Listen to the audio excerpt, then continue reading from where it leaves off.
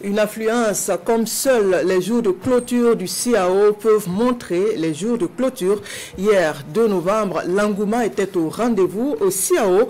Un instant que visiteurs comme exposants apprécient, les personnes approchées disent trouver leur compte à cette édition du CIAO. Le témoignage de Franck Ouetraogo et Moussaki. Il est 16h30 au CIAO ce samedi 2 novembre 2024. À l'extérieur, un monde de grands jours. À l'intérieur aussi, ça grouille de visiteurs.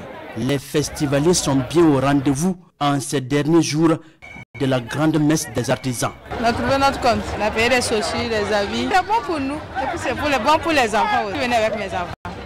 Trois heures. Avec le mari. On est venu depuis 11 heures, on vient de repartir. C'est merveilleux, ça a été fantastique.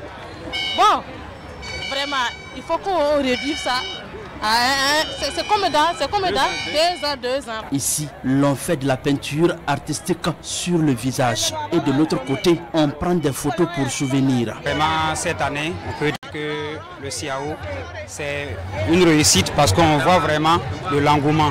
Ici aussi, les enfants se plaisent de prendre les photos avec les objets d'art que vous voyez.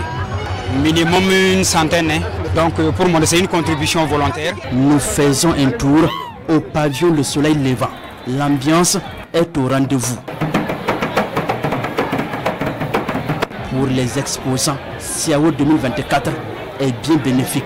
Vraiment, ça se passe très bien.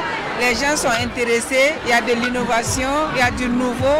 Nous rendons grâce à Dieu et notre stand également a été primé par l'Union européenne. Vraiment, on est très satisfaits. Euh, je suis venue au CIAO pour aider ma mère vendre des jeux éducatifs made in Burkina Faso parce qu'on veut vraiment réduire l'usage de l'écran chez les enfants. Les enfants s'intéressent surtout à genre de jeu parce qu'on ne paye pas. Quand on vient au CIAO, vraiment, on fait gratuit. Ils aiment beaucoup la dame, les jeux de mémoire et la tour en bois. CIAO 2024 va bientôt refermer ses portes. Une fois de plus, le Burkina Faso vient de montrer aux yeux du monde entier sa capacité à réussir les grandes organisations, mais également sa résilience face aux défis sécuritaires et économiques. Les regards sont désormais tournés vers la 18e édition du CIAO en 2026.